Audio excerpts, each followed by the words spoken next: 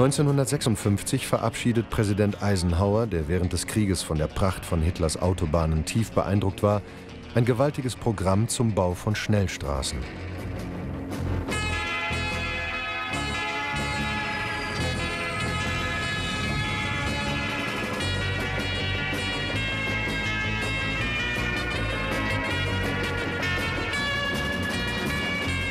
In this plan, there will be no intersections.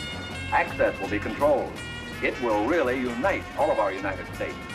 It will be possible to drive from the Atlantic to the Pacific Ocean and from Canada to Mexico on safe, multi-lane, divided highways without a single stoplight or stop sign. You will travel swiftly, easily, and safely. This system of interstate and defense highways is for the traffic of the future. Eisenhower hat große Pläne. 70.000 Kilometer Interstate Highways werden für die wahnsinnige Summe von 50 Milliarden Dollar aus dem Boden gestampft. Vor dem amerikanischen Kongress wird diese finanzielle Ausschweifung mit Gründen der inneren Sicherheit gerechtfertigt. Man müsse 400 Militärbasen verkehrstechnisch erschließen und vor allem die amerikanische Industrie dezentralisieren, um sie im Falle eines sowjetischen Atomschlags widerstandsfähiger zu machen.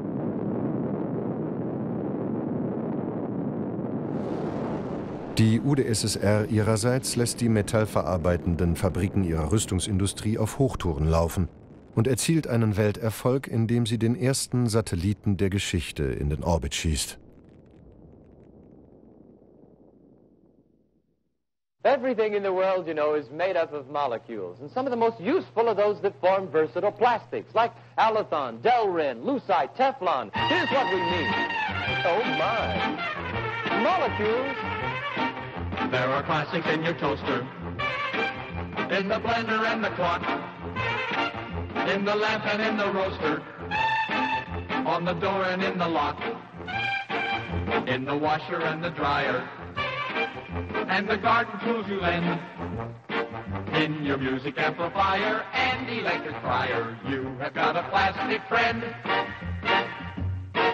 We can coat a waffle griddle In Europa macht das amerikanische Vorbild Schule. Die französische Gesellschaft tritt, wie ganz Westeuropa auch, der Kultur des Konsumismus bei, samt ihren Ikonen und Tempeln. Supermarkt, Automobilsalon und Hausratsmesse.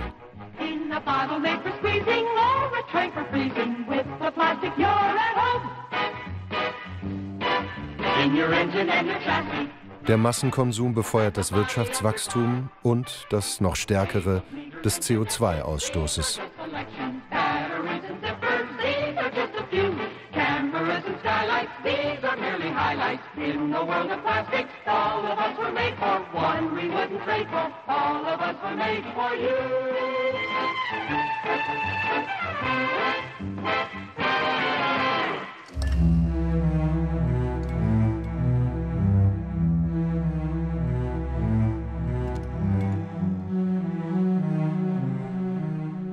Wie ist es den Vereinigten Staaten gelungen, in den Jahrzehnten nach dem Krieg ihren Lebensstandard auf ein solches Niveau zu heben und ganz Westeuropa der gleichen Dynamik zu unterwerfen?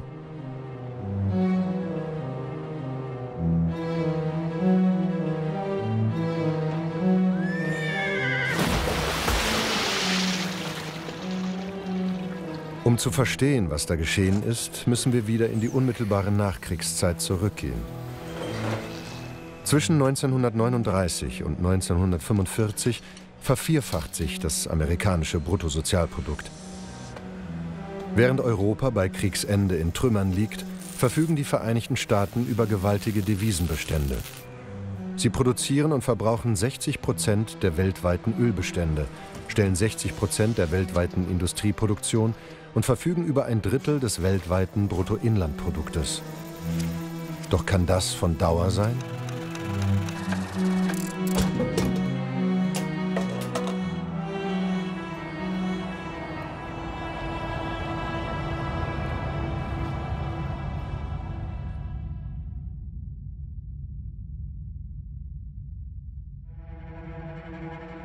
Anfang der 50er Jahre beklagen zwei Spitzen der Naturforschung, William Vogt und Fairfield Osborne, in zwei Büchern mit über 20 Millionen Auflage eine übermäßige Ausbeutung der Vereinigten Staaten und in noch größerem Maße der gesamten Erde, die so nicht weitergehen könne.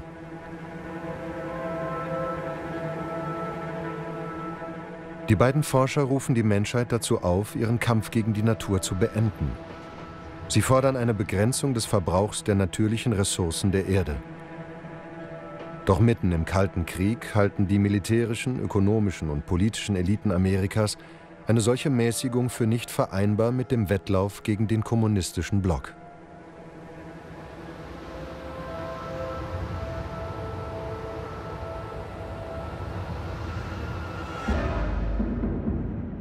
1951 nimmt Präsident Truman die Sache in die Hand. Er bestellt einen Bericht bei einem Parlamentsausschuss unter der Leitung von William Samuel Paley, einem Medien- und Geschäftsmann. Truman will, dass der Ausschuss darüber nachdenkt, wie man Amerika auf Dauer mit Rohstoffen versorgen kann. Nachdem er mehrere Monate lang getagt hat, schlägt der Paley-Ausschuss vor, die Ressourcen der ganzen Welt auszubeuten – um den Westen zu sichern und zugleich die amerikanischen Ressourcen für die Zukunft zu schützen.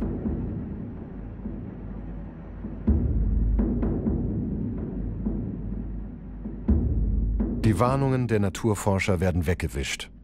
Das Wachstum muss weitergehen, koste es, was es wolle.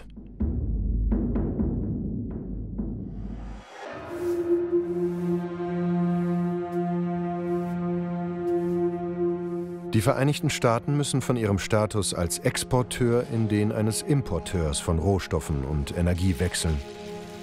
Und dieser Wechsel wird schrittweise vollzogen. Nachdem sie während des Krieges auf der ganzen Welt am Bau von Militärbasen beteiligt waren, sorgen sie nun für den Bau von Erdölanlagen, von Pipelines, Staudämmen, Raffinerien, Minen, Zement, Dünger, Pestizid- und Lebensmittelfabriken. Zwischen 1945 und 1965 tätigen amerikanische Unternehmen allein 85 Prozent aller neuen Investitionen weltweit.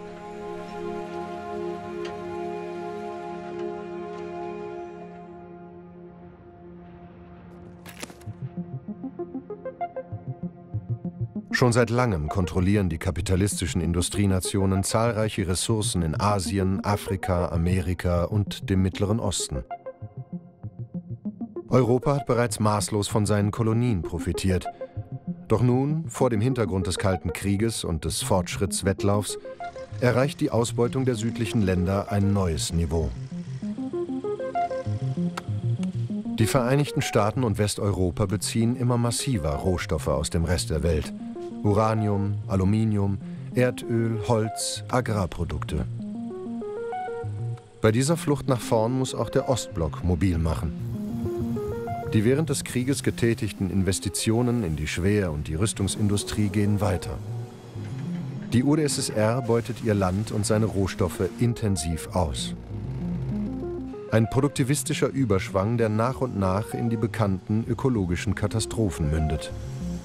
Austrocknung des Aralsees, Verschmutzung durch Kohle, radioaktive Verseuchung des eigenen Landes. Der Rest der Welt ist das Jagdgebiet des Westens.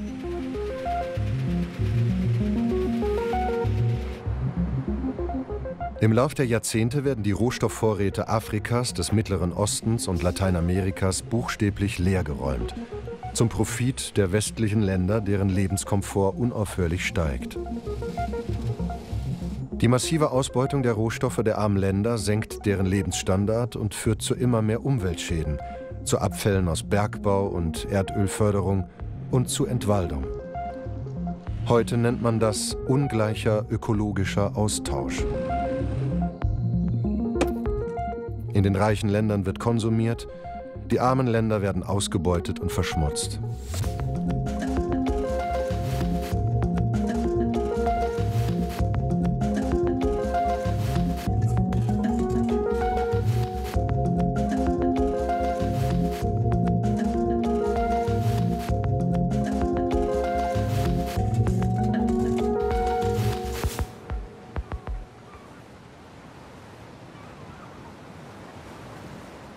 Der Übergang der Welt ins Anthropozän hat sich nicht nur über den Fortschritt der Rüstungsindustrie, über die zivilen Absatzmärkte oder die Ausbeutung der armen Länder ereignet, sondern auch auf dem Gebiet der Landwirtschaft.